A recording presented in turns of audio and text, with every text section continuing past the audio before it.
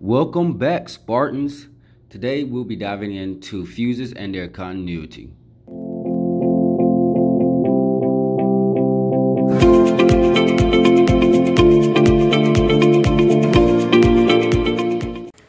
Hello everyone, so today we came across a motor control circuit here and we're having an issue with it not starting. So today we're going to be doing some troubleshooting to figure out what the issue is using our multimeter. We'll be using a Fluke 115. So let's figure out why the motor is not starting.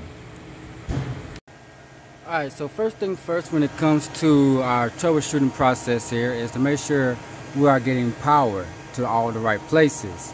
Alright, so right now we have our system energized.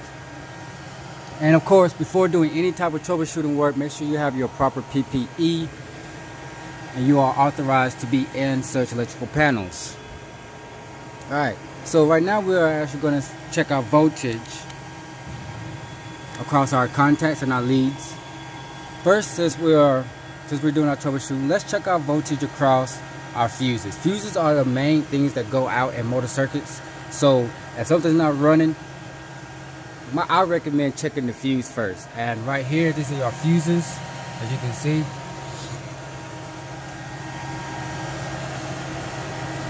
And this is our contacts motor overload. All right so when it comes to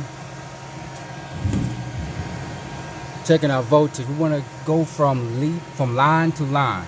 All right from line to line. All right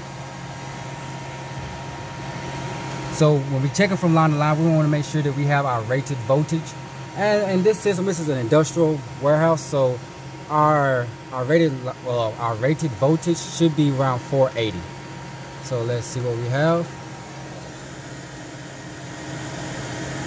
All right and that's that's plus or minus 10 so right now we're at about 497 so that means we're good. All right.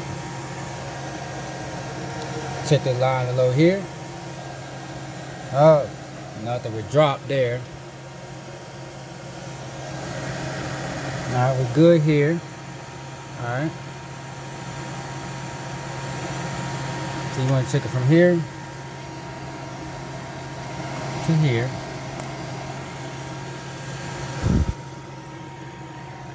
So when when our ratings does not match up um, with our voltage does not match up with our rated current or voltage, that means we have a bad fuse.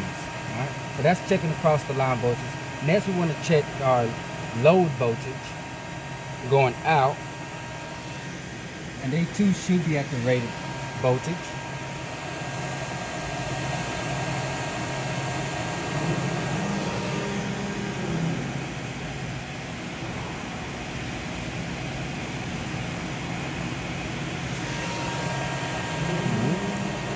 So now that we've found out our voltage and our voltage drops, now we want to take out the the fuse and check its continuity. All right, so next we're going to be taking out the fuse here. And don't forget, please use PPE because you still have your line voltage coming in. All right, so we pull out the fuse.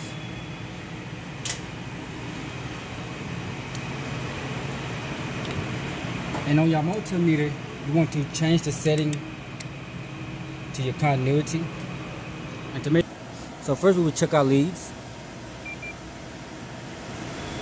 And do the continuity test. You will touch your leads. If you hear the beep, that means you're good. You want to hear that same beep when testing the fuses.